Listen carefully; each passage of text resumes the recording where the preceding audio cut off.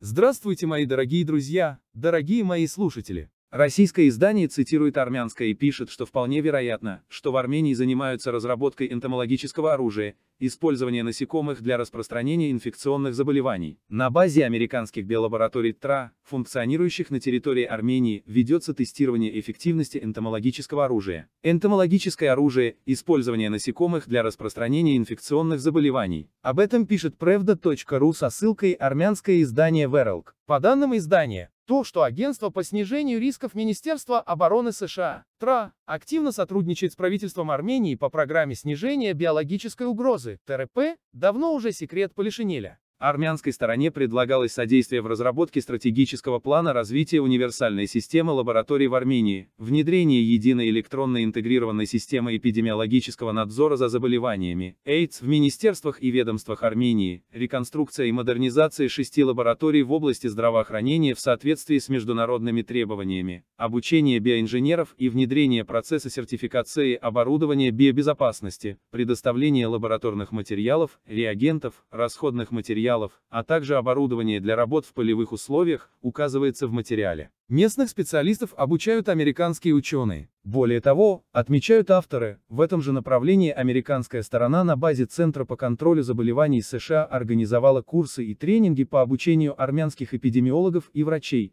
более 250 специалистов из Армении прошли обучение по управлению лабораторным качеством, биобезопасности, работе с лабораторным оборудованием, контролю за переносчиками особо опасных болезней. 150 эпидемиологов были обучены внедрению системы электронного эпидемнадзора. 8 специалистов по применению геоинформационных систем. Однако эксперты, к которым за комментариями обращалось издание, считают, что на базе биолабораторий ТРА в Армении ведется тестирование эффективности энтомологического оружия, использование насекомых для распространения инфекционных заболеваний. Ведь не случайно же Армения – страна, где фиксируют вспышки мутировавших вирусов, и некоторые из них распространились из страны по всему Закавказью, что дает американцам достаточно информации о том, как биоружие может работать естественным путем как у границ и на юге России, так и в Иране. На создание только биолаборатории сети информирования в Армении Пентагон потратил уже более 50 миллионов долларов. Есть документы, утверждает Вералк, которые показывают, что полным ходом идут опыты с флеботаминовыми или песчаными мухами, а также комарами, заражающими человека при укусе.